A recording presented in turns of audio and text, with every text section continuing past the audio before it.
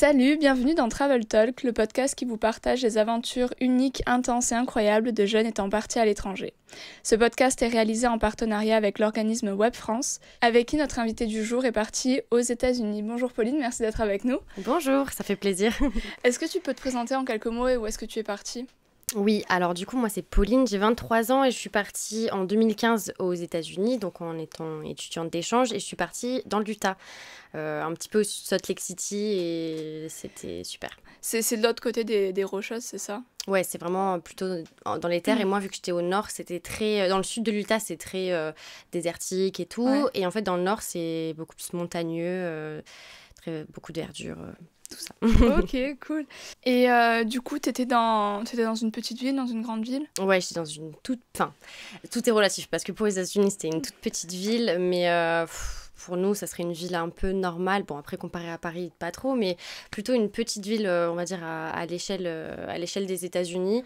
Et j'étais dans un, dans un tout petit lycée, en fait. Mais pareil, il y avait quand même bien 1500 élèves, mais pareil, c'est tout petit, pour, pour les États-Unis. Et euh, ça s'appelait comment du coup ta ville? Euh, Moi c'était Logan et euh, le lycée c'était Skyview. D'accord. À Logan, pareil. Ok. c'était le seul lycée de la région ou c'était.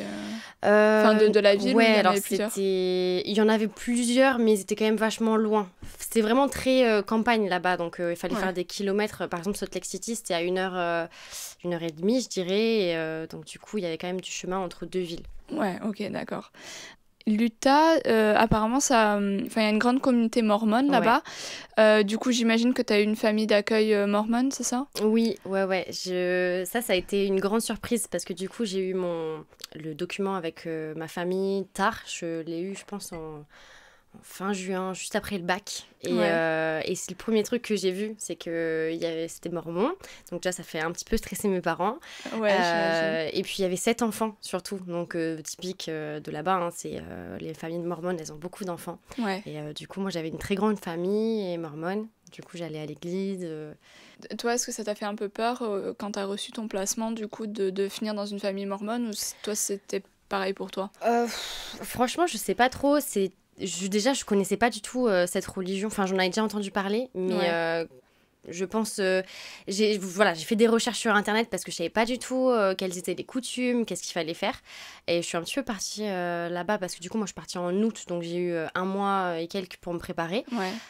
donc, c'est vrai que c'était un petit peu partir à l'aventure sans vraiment trop savoir. Et après, c'est sur le coup que j'ai vraiment compris ce que c'était la religion mormone, euh, ce qu'il fallait faire, ce qu'il fallait pas faire. Bah, par exemple, euh, des t-shirts comme ça avec les épaules dénudées, c'est vrai qu'on n'avait pas le droit. Et moi, j'avais amené, on était plein mois d'août, j'avais amené des, des, bardeurs principalement. Et donc, du coup, le premier jour où je suis arrivée, ma mère d'accueil, on a discuté avec les dress codes à l'école et tout. Il fallait que je refasse toute ma garde-robe parce que pas, pas les, ah les épaules dénudées, pas les, pas les jupes, par exemple, au-dessus des genoux. Enfin, c'était assez compliqué euh, sur ça, mais après, il y a eu plein de trucs. Euh, voilà, qu'il fallait s'habituer quoi. D'accord. Et euh, du coup, qu'est-ce qui donc à part le dress code, qu'est-ce qui t'a le plus marqué comme différence culturelle du coup entre la France et, et ta communauté mormone? Bah, en fait, un petit peu tout, parce que moi, ma famille pas du tout religieuse, donc j'ai pas été élevée comme ça. Et là, j'arrivais dans une famille où déjà il y avait beaucoup de, de personnes dans la famille, puisqu'on était 10 au total.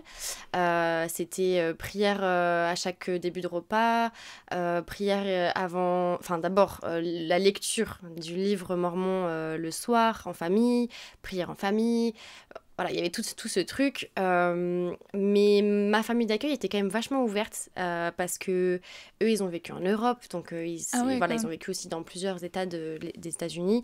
Donc ils étaient quand même assez, assez ouverts à ça. Donc moi, ils m'ont jamais mis la pression. Je me souviens juste que, tu sais, pendant le week-end d'orientation avec Web, on nous dit voilà, qu'il faut quand même y aller, qu'il faut quand même s'imprégner, que quand on va. Quand on, voilà, si la famille va à l'église, vaudrait bien, faudrait mieux y aller avec euh, bah, pour, euh, pour s'intégrer, ouais, pour s'intégrer, pour s'imprégner. Et euh, je crois que moi, sauf rares moments où j'ai, où tu sais, le dimanche matin, j'avais pas du tout envie d'aller à l'église parce que c'est trois heures en plus d'église par, par dimanche, donc ça faisait beaucoup. Ah ouais, quand même. Des fois, j'inventais un petit peu des mythos, mais ça, ça a vraiment, ça arrivait très peu de fois. Enfin, je, je crois, que je suis allée vraiment à tous les, tous les trucs de l'église, quoi. Tu allée à l'église Euh, de manière religieuse ou plus de manière euh, conviviale, on va dire, de rencontre enfin, humaine Ouais, c'était plutôt convivial. Déjà, c'était pour respecter ma famille, tu vois, parce que je me voyais pas leur dire non. Alors, par exemple, à la prière, tu vois, bah, eux, ils croisent les bras, ils prient. Donc, moi, je croisais les bras, je fermais les yeux et je les écoutais.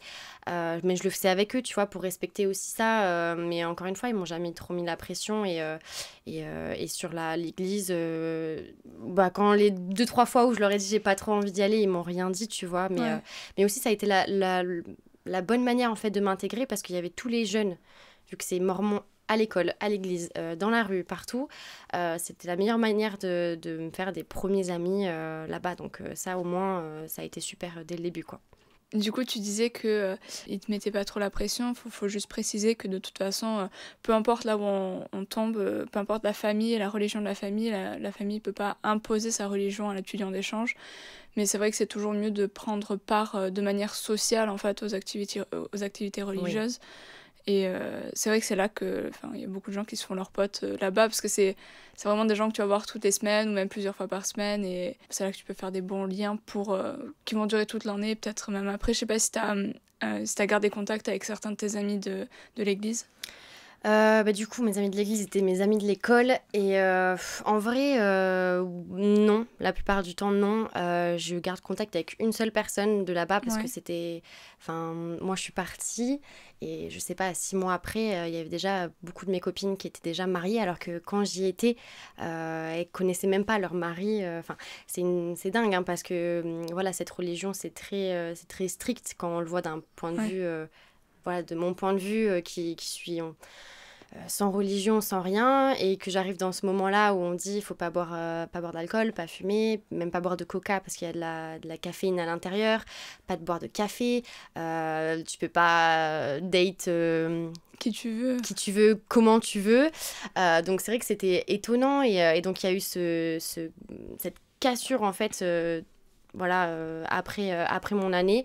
Et il y a juste eu cette personne qui a quitté l'église justement parce qu'elle se sentait pas du tout à l'aise, et sa famille non plus d'ailleurs. Mais, euh, mais voilà, et puis moi j'en avais déjà parlé dans une vidéo YouTube à l'époque parce que ça m'avait vraiment choqué. C'est la relation que les Américains peuvent avoir, enfin, amicale, qui est pas, enfin, je sais pas toi comment tu l'as, vécu, mais euh, je trouve que c'est pas du tout la même. Et, euh, et moi, j'ai mis du temps à vraiment euh, comprendre ça et, et accepter que ça serait plutôt des relations sympas, mais pas forcément des relations très fortes. C'est plus dans le superficiel, mais pas dans, d'une manière péjorative. C'est vraiment. Tout le monde est gentil avec tout le monde. Voilà, voilà. Et c'est vrai qu'après peut-être au cours de l'année, on peut, on peut vraiment avoir des relations mm. plus fortes avec certaines personnes, mais ça va être vraiment une poignée de personnes, quoi. Ça va pas être autant qu'on pourrait avoir en France, par ouais, exemple. c'est vrai.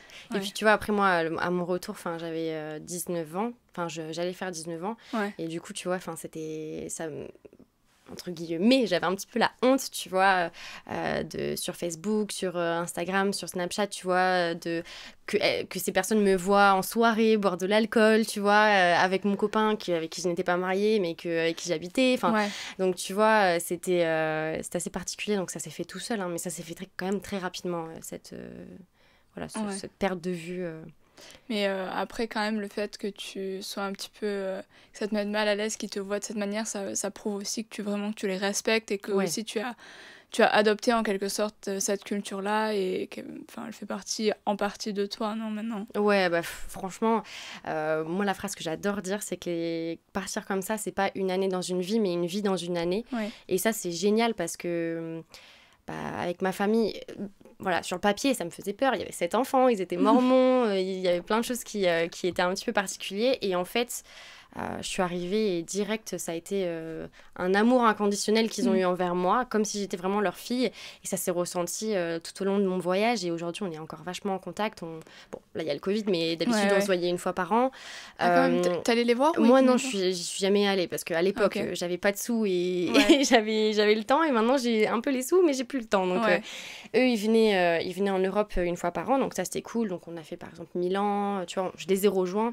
Ouais.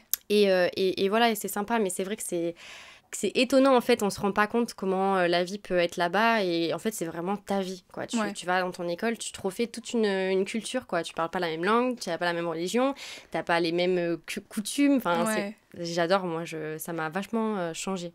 Ouais, et, peu importe la communauté dans laquelle tu atterris, ça va être enfin au final l'expérience tu vas en tirer les mêmes choses quoi donc euh. ouais. Et puis ça je pense qu'il faut être quand même vachement ouvert d'esprit avant de partir parce que on sait pas où on tombe euh, donc on se dit on peut tomber dans une grande ville comme dans une toute petite ville dans une toute petite famille comme dans une grande famille. Et je pense qu'il faut être quand même prêt avant pour pour pouvoir s'adapter un maximum là-bas. Ouais. Et toi justement ça t'a pas fait peur de te retrouver dans une famille de 10 personnes? Si, si, si. Bref, après, j'ai toujours. Euh, bon, moi, j'ai eu trois. J'ai deux sœurs, donc on était trois, donc il y a eu toujours de la vie. Euh, mais là, euh, c'est. Ça notre level. C'est sept enfants, et puis c'était des enfants en bas âge, parce que le plus petit, il a eu deux ans quand, quand je suis arrivée, et la plus grande, elle avait 17 ans, je crois, quand je suis arrivée. Enfin, voilà, quand je suis arrivée. Donc, tu vois, c'était c'était beaucoup plus jeune que moi. Enfin, la majorité des garçons, parce qu'il y avait quatre garçons et trois filles, euh, il y a eu donc entre 7 ans et 8 ans, euh, c'était euh, les cinq enfants. Et après, tu avais les deux grandes qui étaient plus proches de moi, mais sinon, c'était beaucoup de petits. Donc, moi, je me souviens de ce moment où on est arrivé à l'aéroport. Il y avait une heure et demie de route, du coup, de Salt Lake jusqu'à la maison, où c'était dans le mini-bus, tu sais, où il fallait. Voilà, il y avait plein de questions qui fusaient. En plus, moi, bon, je me débrouillais un petit peu quand même en anglais parce que ça, ça allait en termes scolaires, tu vois, ça allait. Euh, mais du coup, je suis arrivée et j'ai eu ce sentiment vraiment de. putain, ça c'est un an de ma vie, waouh! et en fait, au final, je me suis habituée c'était génial, quoi, parce que c'est beaucoup pas des enfants, ça, c'est hyper gentil avec toi, ça te met toujours au cœur des conversations, donc c'est trop mignon. Et t'avais des, des animaux de compagnie aussi ou pas? Ouais, alors ils avaient, euh, ils avaient un cheval, euh, mais un cheval, tu sais, au loin dans le, dans le champ, parce que comme je te dis, c'était vraiment la campagne. Ouais. Euh, ils avaient un chien, mais ils l'ont pas gardé longtemps parce qu'il était assez excité. Et donc, du coup, bah, avec les enfants et tout, ça, les, ça l'excitait encore plus. Donc, il était un petit peu foufou. Donc, ils, l'ont, ils, ont, ils sont, sont séparés. Et après, ils avaient deux petits chats qu'ils avaient trouvés. C'était des chats d'extérieur, mais. et des poules aussi. ok. Voilà. Et un coq d'ailleurs, parce qu'on avait fait un coq au vin. ils avaient trop de trucs et euh, à chaque fois, ça, ils nous ramenaient tout le temps les trucs. Et au début, ils avaient même eu un. Euh, je me souviens pas comment on appelle ça, euh, un lamb. C'est un agneau. Un, agneau. un agneau. Et, et, pareil, c'était pour faire des concours. Et en fait, au final, voilà, ils, aimaient bien les tuer pour en faire de la, nourriture. Donc c'était assez triste. ouais, ils, élèvent leurs animaux ou ils chassent leurs animaux pour se nourrir. Ok. bah, ça change un peu de la ville aussi et de, de ce qu'on fait en France. Est-ce que tu as eu l'occasion de voyager avec ta famille? Oui, alors ils m'ont fait faire une liste, euh, une liste de choses à faire que, je, que j'aimerais bien faire euh, quand je suis arrivée. Donc moi, euh, ambitieuse. Il m'avait dit, voilà, tu peux être ambitieuse et tout. De toute façon, on verra ce qu'on peut faire et tout. Moi, j'avais marqué le Grand Canyon, euh, Hawaï, enfin, c'est des trucs que. Voilà. Ouais. Et, euh, et, en fait, ils, ont, ils avaient beaucoup de familles un peu dispersées euh, aux États-Unis. Et en fait, on a fait, on a fait le Grand Canyon, on a fait San Francisco, on a fait le Nevada, enfin, on a fait vraiment plein de trucs. Et, et c'était génial. C'est vrai que les Américains sont ultra généreux là-dessus. S'ils peuvent, s'ils ont les moyens de le faire, ils le feront. Quoi. Ouais, vraiment. Sinon, bon, à part les voyages, est-ce que de, de, manière plus régulière ou on va dire moins exceptionnelle, tu faisais des activités en famille bah alors oui, quand même beaucoup, euh, parce que ouais, moi, ma famille d'accueil, c'était vraiment dans le, dans le partage et tout. Donc, euh, on faisait souvent euh, des, des, films le soir, tu vois, avec le popcorn, les trucs. c'était vraiment sympa. En plus, ils avaient une énorme maison. Enfin, vraiment, ils avaient une salle de cinéma et tout. Enfin, c'était génial. je suis ah vraiment bien moi, je suis vraiment bien tombée. Hein. vraiment, la maison, c'était la maison des Sims, tu sais. Il y avait carrément un, un, terrain de basket à l'intérieur avec un, un mur d'escalade. Enfin, c'était ouf. Moi, je dans la maison? Mm, mm. Ouais, ouais, je suis arrivée, j'étais étonnée. T'as un gymnase dans la maison, quoi. Exactement. Mais du coup, c'était vraiment sympa et on faisait beaucoup d'activités. Pareil, donc, vu que c'était des petits, ben, il y avait beaucoup d'activités manuelles et tout. Et, euh, et, tu vois, dès que je suis arrivée, par exemple, on était allé à la cueillette euh, des murs, euh, tu vois, des trucs comme ça pour faire des tartes. On cuisinait beaucoup. Et, et après, quand même, donc tous les mardis, t'avais des pareil avec l'église, je euh, je sais plus comment ça s'appelait, mais euh, voilà, c'était que les femmes qui se regroupaient pour faire des activités de femmes. Et, euh, donc, tu vois, tu avais les ateliers couture, les machins. bon, c'était très cliché. Mais du coup, j'y allais avec mes deux grandes sœurs, enfin mes deux petites sœurs, les deux plus grandes sœurs. Sœurs d'accueil, ouais, tu vois. et du coup, on y allait ensemble et on faisait ça. Il y avait, voilà. De temps en temps, on faisait des restos, mais c'était un peu rare parce que voilà, t'imagines à neuf, ça coûte un peu cher. C'est clair. Donc, on a fait plein de choses, ouais. Ok. Euh, et parlons un peu de ton lycée, du coup. Euh, donc, tu as dit que tu étais dans un lycée euh, qui était, bon, petit, mais assez grand en, en comparaison avec la France.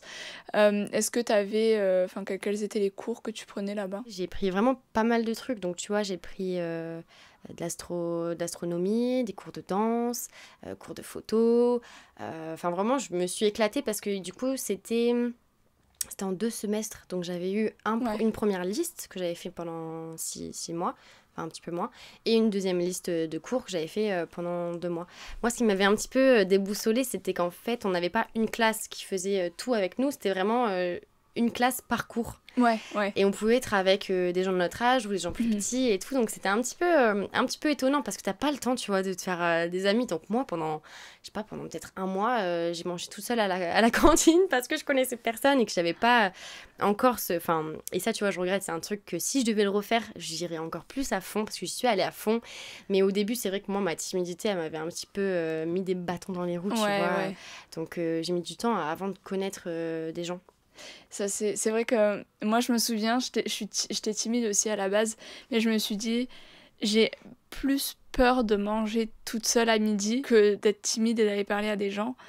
Du coup, je me suis dit, il faut que je parle à des gens. Et puis, je me suis vraiment forcée pendant, euh, pendant mes deux, trois premiers cours de la journée à, à vraiment faire poteau avec des gens. Et jusqu'au au moment, en fait, où il y a une fille qui, qui m'a juste dit, euh, bah, tu fais quoi pour le lunch, quoi?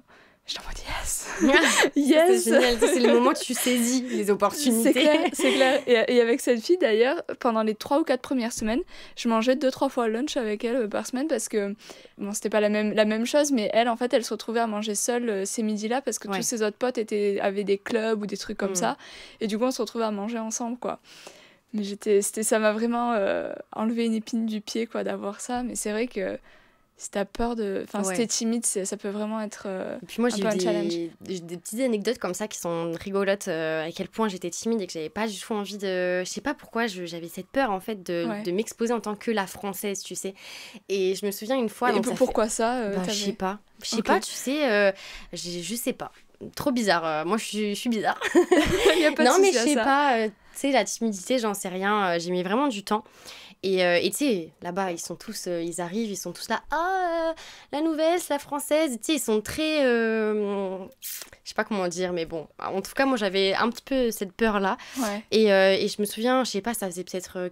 Bah, ah non, c'était au deuxième semestre, donc ça fait déjà six mois que j'étais là, donc j'avais déjà un petit peu mes bases et tout, les, les copains, les, les, profs et tout, sauf qu'on venait de changer de classe. Donc bah, je me retrouvais encore avec des gens que je connaissais pas.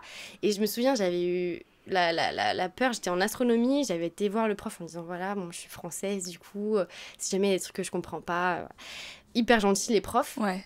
Mais euh, je me souviens, ils avaient posé une question. Moi, j'étais au fond de la classe et, et j'ai levé la main, j'ai répondu. Et là, vraiment, tous les gens qui se retournent, genre avec les gros yeux, c'est quoi Tu sais, parce que forcément, ils entendent derrière un accent pas américain, pas qui connaissent et tout. Et donc, c'était rigolo. Parce que tu étais la seule étrangère du lycée ou t'en avais d'autres quand même? Il y avait un un allemand et c'est tout. Ok, ouais, d'accord. Le, le ratio ça, quand même. Ça, par contre, c'était bien, tu vois, parce que j'avais pas cette tentation de me dire euh, je vais traîner avec le français ou. Tu vois, même l'allemand, on traînait pas trop ensemble. Et puis, même, euh, tu vois, on a eu quelques cours ensemble. C'était sympa d'échanger sur notre expérience, mais c'était pas non plus. Euh, enfin, tu vois, je me suis. Ça, c'était bien parce que j'avais pas ce, cette facilité, en fait, d'échappatoire, quoi. Du coup, à part ma famille, et encore, on, on se parlait pas très régulièrement, tu vois, j'avais vraiment ta, ta famille française ou ta ouais, famille ma famille, pardon, ma famille française, ouais, exactement. La confusion arrive. Ouais, ouais, excuse. Dans ma famille française, euh, et eh bien, on se parlait pas très régulièrement, en tout cas pas en Skype ou quoi. On s'appelait, tu vois, peut-être toutes les trois semaines. Et donc, c'est-à-dire que j'étais tout le temps, tout le temps en immersion en anglais. Et ça, c'était génial parce que bah, parce que ça j'ai appris beaucoup plus vite, j'ai assimilé beaucoup plus vite et euh, ça ça a été aussi un ouais, un bon point en fait euh, mm. de pas avoir de trucs en français quoi. Et ça, est-ce que ça t'a aidé aussi pour le mal du pays euh, de ne pas avoir trop de contact avec la France? Ouais, euh, alors moi, c'est vrai que je suis une personne qui, quand je fais un truc, j'y vais à fond. Même si j'adore ma famille, je les aime de tout mon cœur et ils, me manquaient fort. Euh, ils étaient aussi, eux, dans l'idée de me laisser. Donc, tu vois, ils m'envoyaient pas des messages tout le temps. Parce qu'après, sinon, je pense que tu t'attaches trop à ce moment-là, t'es triste. Et, et moi, c'est vrai que mon année, je l'ai vu, je l'ai pas vu passer en fait. C'est passé tellement vite parce que j'ai vécu comme, comme il nous disait à Web, les deux pieds dedans, tu vois, pas un pied en France, pas un pied aux États-Unis, c'était vraiment mm. à y aller à fond. Et au final, c'est que un an et ça passe trop trop vite.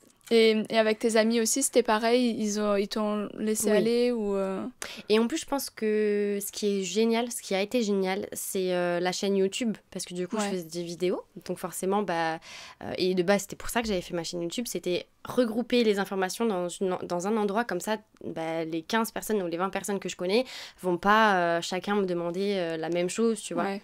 Donc ça, c'était vraiment bien. La page Facebook, c'est pareil. hein, c'est, je mettais mes, petites, euh, mes, petits, mes petits fun facts et tout. Et euh, c'était, ça, c'était génial. Ouais, ça fait gagner du temps aussi. Ouais. euh. Mais après, il faut être, faut être déterminé parce que ça peut prendre un peu de temps aussi Oui. de créer le contenu. euh. Ouais. Moi, je l'avais vraiment fait, tu sais, pour, en hobby, tu vois, c'était vraiment pas dans un objectif précis. Donc, en fait, si je le prenais bah, pas trop au sérieux, donc c'est-à-dire que je faisais mes vidéos, je les postais, je faisais mes posts sur Ouais. Facebook, je le faisais avec des photos. C'était pas régulier, ça me, tu vois, c'était pas Mais c'était une corvée. authentique. Ouais. C'était authentique, quoi. Ouais, ouais. Ouais. Et puis, tu vois, après, quand j'ai vu qu'il y avait beaucoup d'étudiants d'échange, justement, Mm. ou de futurs étudiants, étudiants d'échange qui, euh, qui me suivaient, bah, au final, après, j'ai traité aussi des sujets, tu vois, qui, moi, me, me parlaient. Et, euh, et c'est vrai que c'était c'était sympa. Cette chaîne, c'était c'était un bon moment aussi, tu vois, Ouais, ouais, j'imagine. à faire. On va passer à quelques anecdotes sur ton Ouais. année. Donc, tu allais à l'église euh, assez souvent. Et il paraît qu'un jour, euh, il y a le prêtre de ton église qui t'a choisi pour venir faire un témoignage sur scène, enfin Mm. devant tout le monde. Tu peux nous raconter ce qui s'est passé, comment tu t'es sentie? Bah, en vrai, c'est, à chaque fois, ça me fait rire cette anecdote, mais c'était terrible, hein, en vrai, on va pas se mentir. Mais c'était plus que le prêtre de mon église, c'est-à-dire que hum, ils ont tout le temps, toutes les, tous les ans, ils ont des périodes où ils vont faire des conférences euh, qui sont euh, nationales, enfin pas nationales du coup, mais dans l'État. dans l'État, ouais. Euh, du coup dans toute la commune mormone, mais qui est principalement dans l'Utah. Donc c'était euh, voilà, quelque chose qui se passait dans l'Utah en règle générale. Ouais. Et en fait, moi, dans la ville où j'étais, il y avait plusieurs petites églises, donc plusieurs petites, je pense, c'est paroisses en français, tu vois. Ouais. Et, euh, et donc, du coup, il y en avait plusieurs. Et euh, il y avait ce moment où, en fait, euh, il y avait cette conférence. Et avec ma famille d'accueil, on est parti euh, dans une église qu'on connaissait pas. Une- Elles sont toutes très jolies, hein, on y était. Ouais. Et elle était très très grande. Et là, on devait être un tout petit peu plus, tu vois, peut-être 300. Et, et nous, avec ma famille, on était assis, mais vraiment au fond de l'église, Ouais. en haut d'une estrade, enfin vraiment euh, n'importe quoi. Et on regardait le, le monsieur parler. euh, voilà, donc il. C'est souvent- le, le pasteur, c'est ça? Ouais, donc tu sais, c'est toujours un petit peu le même, euh, même speech. C'est voilà, euh, euh, pourquoi on est là, euh, on va apporter quelques témoignages, tout ça, tout ça. Donc moi, je vous donne mon, ma- mon témoignage sur Dieu. Et, euh, et donc il dit euh, voilà, j'ai sélectionné trois jeunes. Trois jeunes euh, pour venir euh, sur l'estrade et pour euh, voilà apporter leur témoignage et là moi je ne sais pas si euh, c'est complètement le hasard ou si justement tu sais c'était un petit peu préparé parce que on va pas se mentir, ma famille d'accueil me mettait pas la pression, mais la communauté à côté c'était un peu différent, tu vois. Les Ouais. voisins, c'était pas forcément des fois ils avaient des paroles, c'était un petit peu, fallait prendre du recul, tu vois. Ouais. Donc là, je ne sais pas, je sais pas si c'était le hasard justement ou si c'était Il, préparé. il voulait vraiment euh, te, te faire rentrer dans la communauté, tout Je ça, c'est ça? Je, franchement, je, enfin, je, dis, je pense, mais en même temps, je sais pas. Donc, euh, je, sur ce point-là, je, je suis neutre. Ok. Et euh, donc, du coup, il appelle euh, une personne que je connais pas, un garçon que je connais qui était dans l'église et qui était au- avec moi au lycée. Et, et là, il dit Et vous, euh, mademoiselle, euh, là-bas au fond, donc moi, naïve, je regarde à droite, à gauche. Oui, oui, euh, vous regardez euh, à gauche là. Donc là, je me dis Ok. Et, et donc là, on se regarde, tu sais, avec ma, ma soeur d'accueil et tout. Et là, il fait Oui, oui, oui, toi, avec le t-shirt noir. Bon, c'est moi qui ai un t-shirt noir. Oh mon dieu, ok. Et là, et là, en fait, jusqu'à présent, je, tu vois, je me rendais pas compte. Et ma mère d'accueil qui était juste devant moi se retourne et vraiment les yeux, mais terrifiés limite, tu sais, genre en mode quoi? Non. Et, euh, et en fait, je te dis jusqu'à ce moment-là, pour moi, bon, ok, let's go, tu vois. Et en fait, euh, c'est mon père d'accueil et c'est là où j'ai commencé à stresser Ouais, qui euh, lui-même était donc le, on va dire le référent de l'église, Ouais. ou en tout cas le sous-référent de l'église dans laquelle j'étais, donc il avait l'habitude de prendre la parole, ouais. tu vois, devant des centaines de personnes. Il me dit, je vais te présenter quand même pour que les gens ne soient pas surpris. Je vais expliquer voilà, que tu es notre. Il aime bien, en fait, il aimait bien dire ça, mais notre petit animal de compagnie, parce qu'ils m'emmenaient partout. Donc, euh, eux, c'était leur petite blague, Ouais, je vois. le The Pet, tu vois. Et, euh, et qu'il a expliqué et tout. Et là, il monte sur, euh, sur la scène avec le Mhm. micro et tout. Et euh, il commence à avoir la voix qui tremblote et les yeux, euh, tu vois. Et parce qu'il il était, pleurer, il était trop, toi trop ému. Lui, lui, ah, il, ouais, il était trop fier euh, ouais. que tu parles. en fait, fier et stressé pour moi, je pense. Donc du coup, il commence à un peu avoir la larme, la larme à l'œil et tout. Et là, je me dis, oh là, bon, c'est euh, beaucoup plus important que ce que je pensais. Et là, euh, ben, je vois tous les gens et tout. Je me dis, bon, ben voilà, maintenant, il va falloir que j'y aille. Et sauf que c'était, je sais pas, genre 3-4 mois après mon arrivée. Donc, tu vois, mon anglais, il était bien, mais c'était pas non plus extraordinaire. Donc là, j'arrive et là, je prends la parole et tu veux que je dise quoi? J'ai rien préparé, je ne sais pas quoi dire. Et là, bon, ben, j'ai dit euh, les banalités euh, du style que moi, j'étais hyper contente d'être là, que même si moi, je n'étais pas croyante, euh, ça m'ouvrait aussi d'esprit pour aussi, à mes enfants plus tard, voilà, leur apporter cette ouverture d'esprit, qu'il y a différentes religions, que si, que ça. Mais sauf que tu sais, c'est bizarre. Ouais, j'imagine. C'est bizarre. Parce que là, tu arrives dans une communauté, tu peux pas dire n'importe quoi. Parce que voilà. Et donc, je sors et tout. Je vais prendre l'air parce que c'était un trop plein d'énergie. Ouais. Et, euh, et, là, mon père d'accueil, il y avait mes sœurs et tout qui viennent euh, me dire oh, c'était bien et tout, quand même. Euh, t'as bien parlé, on a bien compris ce que t'as dit. Bon, par contre, on te l'a pas dit avant, mais c'était filmé. Non. Et, et en fait, c'était filmé. et du coup, je suis arrivée le lendemain, parce que c'était un dimanche, je suis arrivée le lendemain à l'école.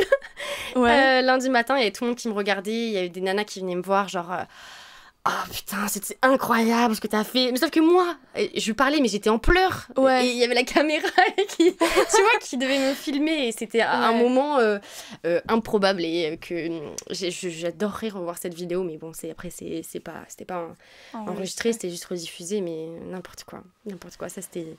Bah, un moment euh, fort en émotion, on va dire. Bah, au moins, c'est une expérience que tu vas pas oublier de, non. sitôt. Non, non, non. Et du coup, euh, tu m'avais dit qu'il fallait pas oublier que, euh, que c'est une vie dans. Donc, tout à l'heure, tu as mentionné le fait que c'était pas une année dans une vie, mais une vie dans une année. Qu'est-ce qui fait que c'est vraiment ouais, une vie dans une année? Bah, plein de choses. Déjà, euh, comme je disais tout à l'heure, c'est le fait que tu changes de langue, que tu changes de culture, que tu changes de. Euh, bah, là, dans mon cas, de religion, tu changes de famille, tu changes d'école, tu changes d'amis, tu changes vraiment de tout. La seule chose qui te reste de ta vie française en, en soi, enfin de ta vie que tu as toujours connue, c'est juste toi. Après, tout le reste, il faut le recréer autour de soi. Et c'est vrai que ça peut faire peur, mais c'est au final. Euh, mm. Ouais, parce que ta vie française, vraiment, elle n'existe plus. Hein. Euh, mm. C'est, il faut vraiment euh, réadapter, euh, réadapter sa personnalité. Et ça, par contre, ça, ça nous sert pour le après l'année quoi pour quand on revient on se dit bon ben j'ai fait ça maintenant je pense que je peux tout faire quoi c'est clair c'est clair t'as pas peur de refaire une expérience similaire ou de, de, te mettre dans une situation totalement inconnue quoi et puis même t'as limite euh, très envie, tu deviens un petit peu euh, obsédé par euh, ces sensations en fait, de te dire t'as envie de découvrir, t'as envie de vivre des trucs comme ça, dans une nouvelle culture et tout, enfin c'est génial. Ouais, ouais. Et du coup, quel conseil tu donnerais à des jeunes qui aimeraient partir? Moi, j'ai plein de conseils, mais je pense que le principal, c'est d'y aller, de foncer, de pas réfléchir, parce que si on réfléchit trop, forcément, ça fout les jetons tu te dis bon je m'embarque dans quoi mais il faut vraiment y aller parce que c'est que du que du kiff que du bonheur euh, mais par contre c'est s'ouvrir comme je disais tu sais tout à l'heure déjà être préparé en amont mais sur le tas en fait toujours se remettre en question et ça moi c'est quelque chose que si je pouvais le refaire, je le ferais différemment. C'est pas m'installer dans la routine, tu vois. C'est d'y aller, de rencontrer plus de gens, de dire oui à plus de choses, euh, euh, tu vois. Enfin, vraiment de Ouais, de foncer. Vraiment, je crois que c'est le truc principal, c'est de foncer tout le temps, partout. C'est vrai que surtout au début, avec le décalage horaire et tout, on est fatigué, on a tendance à dire non à plus de choses, alors que au contraire, faut se pousser et vraiment dire oui à tout, même si c'est faire le mm. plein d'essence, quoi. Ouais. En fait, j'ai fait énormément de choses avec ma famille, tu vois. Je trouve que mon année, et je pense que ça se ressent beaucoup quand j'en parle, euh, à, tu vois, quand on me pose des questions et tout, c'est que j'ai beaucoup plus vécu mon année avec ma famille d'accueil que avec les amis, tu vois. et c'est pas grave parce que c'était juste génial.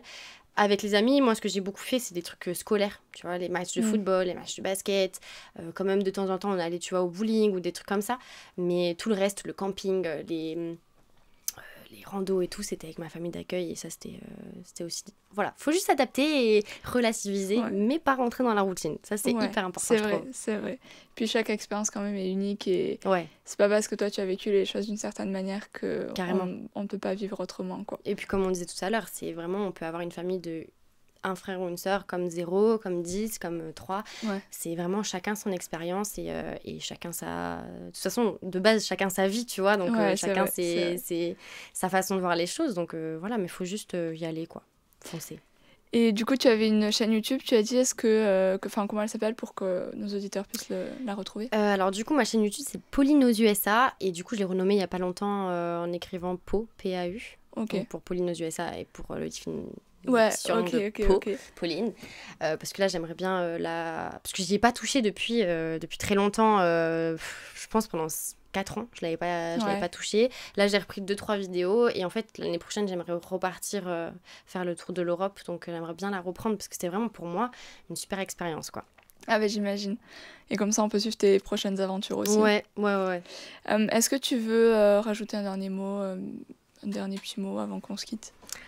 Il y a plein de choses que j'aimerais dire parce que tu vois, dans les moments comme ça, tu as envie de parler pendant des heures euh, de sujets ah, comme je ça. Je comprends, je comprends. Mais euh, non, moi, je pense vraiment qu'il qu faut euh, pas hésiter parce que c'est des expériences tellement enrichissantes. ça, bien sûr, ça va mettre la nostalgie parce que tu vois, quand moi, de, ça fait. Ça fait 5 ans que je suis rentrée, donc ça fait 6 ans que je suis partie, ça fait déjà un petit moment. Ouais. Et, euh, et, on a l'impression que, tu vois, des fois, on aimerait trop y retourner, retourner à cette époque. Et, euh, et pour rien au monde, je changerai d'avis sur ça. Et euh, c'est pour ça que je conseille tout le temps aux gens d'y aller. moi, j'ai fait beaucoup des salons de l'étudiant avec Web, justement. Et euh, ce qui revenait beaucoup, c'est euh, les parents qui s'inquiétaient pour le cursus scolaire et tout. Et en vrai, que tu partes avant ton bac ou après ton bac, il n'y a aucune pression. Avant ton bac, c'est plus facile parce que tu restes inscrit dans ton école et, voilà. Mais par contre, tu as le côté un petit peu, tu vas plus être avec tes amis et tout. Et moi, c'est ce que je voulais pas. Je voulais vraiment finir ma scolarité en France avec mes amis et passer euh, après mon bac. Et puis j'avais la chance d'être née en fin d'année pour aller aux États-Unis. Et tu vois, et, et en fait, quand je suis rentrée, il a fallu que je me batte un peu plus pour être acceptée des écoles parce que tu as quitté le système scolaire, entre guillemets, euh, donc c'est un peu plus difficile de rentrer. En gros, ça, je crois, faut pas, faut pas que ça soit un frein parce qu'au-delà de ça, ça va apporter. Euh, déjà le fait de parler anglais, le fait d'être plus mature, euh, sur ton CV, sur tes lettres de motivation, ça va toujours bah, aller dans ton sens. Et puis même, pour ta personne, si tu aimes le voyage et si tu aimes découvrir des nouvelles cultures, des, parler à des personnes différentes et tout, et ben ça c'est juste un truc génial et qu'il faut, qu'il faut surtout pas négligé. C'est une année, dix mois dans, dans, une vie et ça passe tellement vite qu'il faut pas faut pas se voilà, faut pas s'empêcher, je pense. Ouais, et puis ça comme tu disais dans un CV, c'est pas juste tu as fait une année à l'étranger, il y a beaucoup de choses qui sont euh, prises en compte. Ouais, enfin, ça veut pas force ça peut pas juste dire que tu as fait une année, ça veut dire euh, ça veut dire que tu es aussi euh, indépendante, que tu sais t'adapter, que euh, tu, tu n'as pas peur d'une différence culturelle. Euh, enfin, ça, ça dit beaucoup de choses sur ta personne, en fait, euh, au-delà de juste t'as passé une année à l'étranger, quoi. Ouais. Parce que moi, c'est vrai que ça m'a changé, tu vois. Je suis partie, j'étais quand même relativement bien timide. Et aujourd'hui, et je me souviens même, après mon année, il y a eu des petites étapes dans ma vie où je me suis dit, à moi-même, au plus profond de moi, en me disant euh, Pauline, t'as fait, euh, t'es partie un an aux États-Unis quand t'avais 17 ans. Aujourd'hui, tu peux tout faire, je pense. Et, et encore aujourd'hui, tu vois, je, je, vais sur mes 24 et, euh, et, je me dis, purée, mais je suis partie quand même à 17 ans aux États-Unis toute seule. Moi, je voulais vraiment le faire, tu vois. Alors que pourtant, ça allait pas du tout avec ma personnalité, tu vois, assez timide et tout. Et en fait, au final, voilà, faut faut foncer. ce que je dis à chaque fois. Mais t'es loin d'être la seule à avoir été timide et à être partie timide et, ouais et qui, ont, qui l'ont quand même fait, quoi. Donc, Parce que je euh, pense, tu sais, t'as la différence entre les timides qui sont trop réservés pour faire des choses et les timides qui, quand même, tu vois, ont envie d'aller gratter dans la vie pour voir ce qu'il y a à faire et tout. Et moi, je pense que j'étais plutôt de ce côté-là. Et ça m'a bien servi. ok. Bah, merci beaucoup d'avoir euh, partagé ton expérience avec bah, nous. Merci à toi. C'était Travel Talk, votre podcast réalisé en partenariat avec l'organisme Web France. Et on se retrouve très vite pour un prochain épisode.